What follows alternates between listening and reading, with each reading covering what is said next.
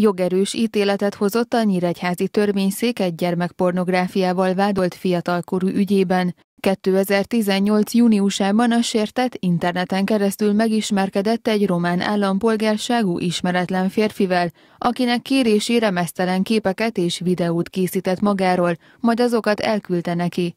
Ekkor még nem volt a sértett 18 éves. A kapcsolat azonban 2019 márciusában megszakadt közöttük, később a vádlott, aki a sértett általános iskolai osztálytársa is egyben, kapcsolatba került ugyanezzel a román állampolgárságú ismeretlen férfivel messengeren, és továbbította neki a sértettől kapott képeket és videófelvételt.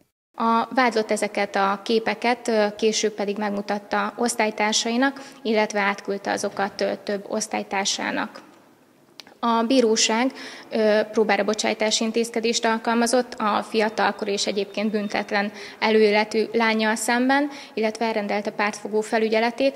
Ezzel kötelezte őt arra, hogy ez alatt az idő alatt ő tartsa a kapcsolatot egy kijelölt pártfogóval, annak érdekében, hogy a pártfogó felügyelő figyelemmel kísérhesse az életét, hogy ne kövessen el a jövőben esetleg ilyen bűncselekményeket.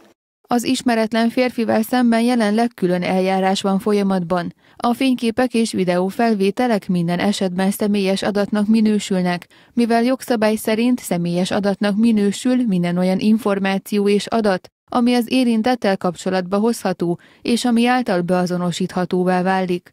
A bíróságon is gyakran találkoznak olyan esetekkel, amikor egy kapcsolat végén bosszúból az egyik fél továbbítja az egykori partneréről készült felvételeket. A BTK egy évnyi szabadságvesztéssel büntetheti a személyes adattal való visszaélést. Ez két évre nőhet, ha valamilyen különleges adatra követik el a bűncselekményt.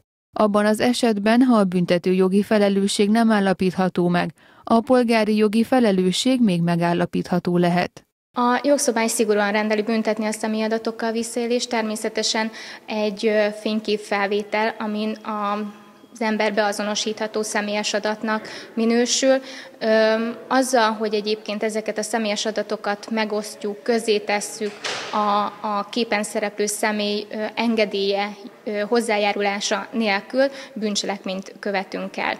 Természetesen, hogyha ezek a képek pornográfia jellegű képek, akkor viszont sokkal súlyosabb bűncselekményt követel az elkövető, és súlyosabb büntetésre számíthat.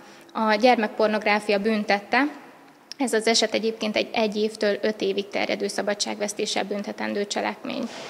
A személyes adattal való visszaélésekről és a különböző büntetési tételekről korábban Tárgyalóterem című műsorunkban is beszéltünk. Az adást visszanézhetik honlapunkon és a Facebook oldalunkon is.